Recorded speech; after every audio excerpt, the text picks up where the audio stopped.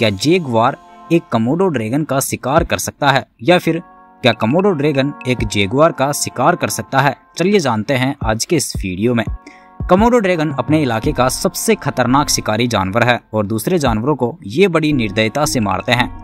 वहीं दूसरी तरफ़, जेगवार बहुत ही ताकतवर जंगली बिल्ली और अपने इलाके के सबसे खतरनाक जानवरों में से एक है। जेगुआर ब्लैक कैमन जैसे खतरनाक मगरमच्छों का शिकार करता है। जेगुआर के जबड़े सभी बिल्लियों में सबसे ज़्यादा ताकतवर होते हैं और आपको तो पता ही होगा, जंगली बिल्लियाँ बहुत चालाक शिकारी जानवर होती है। इसीलिए अगर कमोडो ड्रैगन और जेगुआर के बीच लड़ाई होती है तो कमोडो ड्रैगन को जेगुआर पर हमला करने का मौका भी नहीं मिलेगा। उससे पहले जेगुआर कमोडो ड्रैगन का काम तमाम कर देगा।